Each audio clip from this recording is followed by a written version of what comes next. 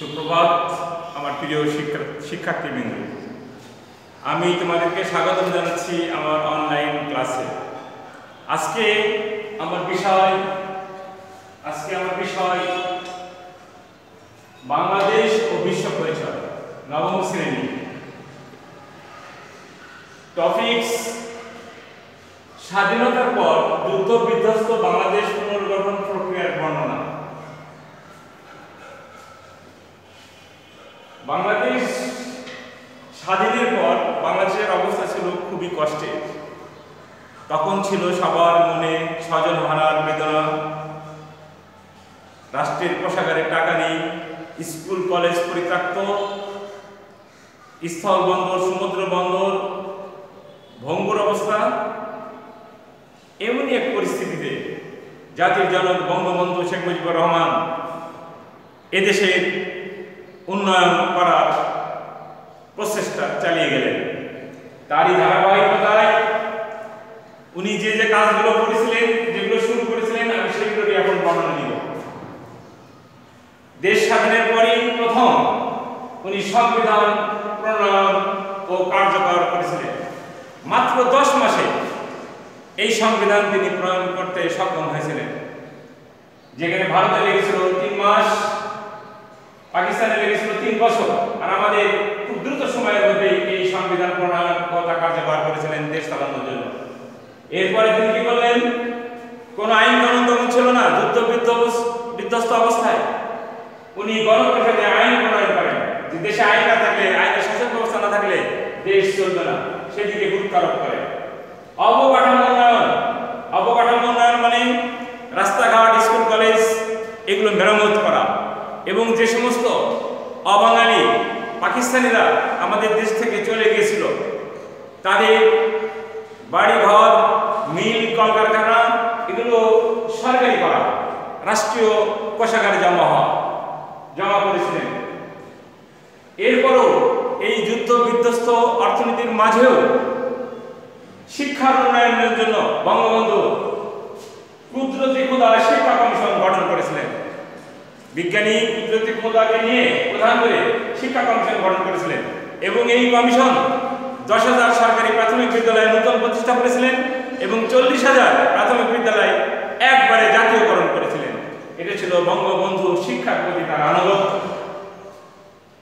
অর্থনৈতিক উন্নয়নের জন্য অর্থনৈতিক উন্নয়নের জন্য তিনি বিভিন্ন দেশে ঘুরে বেরিয়েছেন সাহায্য এনেছেন মানবিক সাহায্য দেড় কোটি শরণার্থীর ভরণ পোষণের জন্য তার অর্থ ব্যয় করতে হয়েছিল।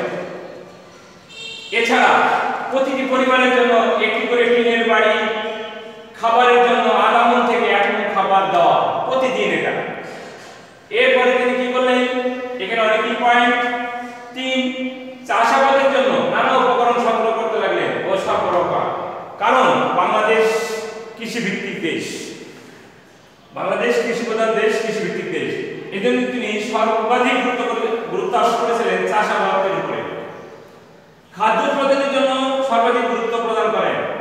যে খাদ্য উৎপাদন দেশের খাদ্য, দেশের উৎপাদন না করা যায়, বিদেশ থেকে খাদ্য কেনার টাকা আমার নাই। অতএব এদিকে তিনি খেয়াল করেন।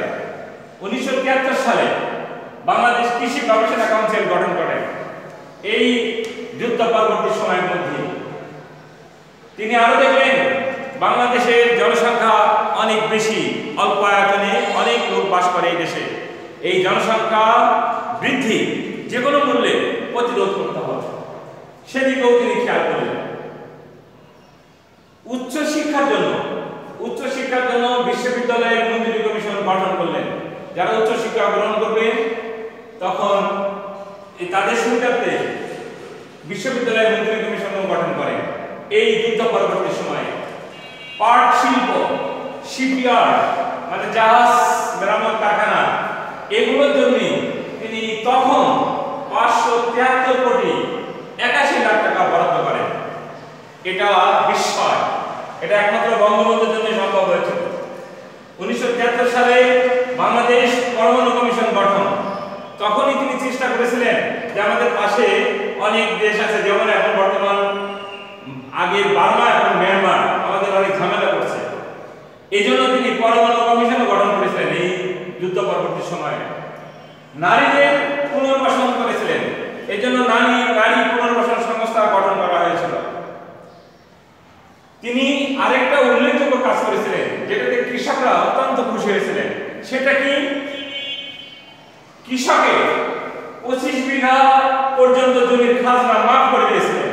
এটা তার বিস্ময়কর একটি কাজ, উন্নয়নমূলক কাজ। এছাড়াও ভারতে জাতিসংঘের সদস্য না হয়েও জাতিসংঘ মহাসচিব কুট ওয়েন দেইমারের কাছে মানবিক সাহায্য চেয়েছিলেন ও পাকিস্তানে যে সমস্ত বাঙালি বন্ধীরা ছিল তাদেরকে ফিরিয়ে আনার জন্য তিনি অনুরোধ করেছিলেন যে আমাদের অনেক বাঙালি পাকিস্তানে বন্দী রয়েছে, তাদের নির্যাতন করা হচ্ছে, এদেরকে আমাদের ফিরিয়ে দেন। তেরো, বিভিন্ন কলকারখানা চালু করা।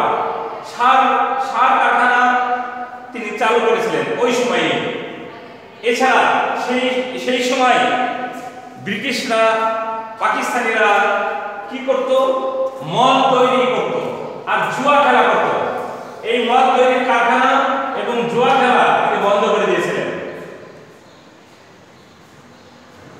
বঙ্গবন্ধু দেশে ফিরে দেখলেন গুদামে খাদ্য নেই মাঠে ফসল নেই পোশাকারে টাকা নেই রাস্তার বেহাল দশা স্কুল কলেজ পরিত্যক্ত এরপরও তিনি উন্নয়ন কাজ চালিয়ে গেছিলেন স্থল বন্দর সমুদ্র সমুদ্র বন্দর অকেজ এমন একটা অবস্থায় তিনি বাংলাদেশকে উন্নয়ন করার কাজে হাত দিয়েছিলেন।